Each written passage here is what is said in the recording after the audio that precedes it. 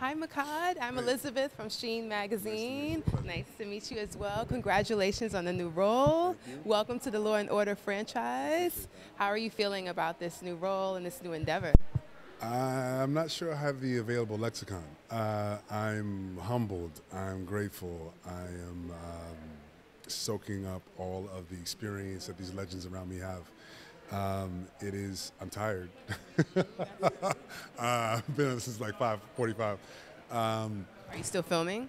yeah, oh yeah, oh yeah. I was filming today. I came straight from work. Yeah, it's, it's, it's the schedule's persistent. Um, I but I, but I'm also just I'm beside myself. It's it's just it's incredible. Like I, am very lucky. I, I, understand the the unique position that I'm in, um, and I'm I'm going to make the most out of it. I love that. How has it been filming in New York? Best city in the world. Greatest city on the planet. And I, and I, li- I lived here anyway, so um, I, I, get to film at home. It's great. Beautiful. Yeah. So you can go home and rest after this? To find rest? yeah. Uh, well, I won't keep you. Last question.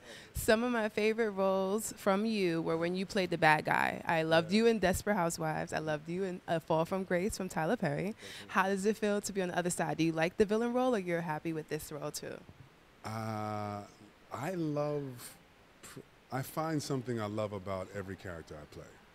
Uh, I think I think what you see is me having a different type of fun, right? Because the villain never thinks he's a villain the villain thinks he's right.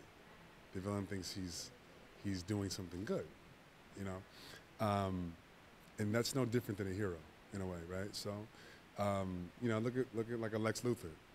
He's like, no, I'm I'm, just, I'm doing this for the good of Thanos. Was like, we need population control, right?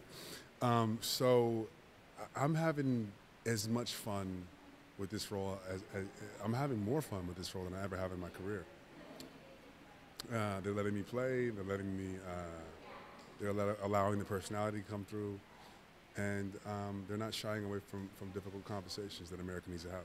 I love that. Well, congratulations to you. I'll be watching. Our Sheen family will be watching as well. All the best to you. No problem. You too.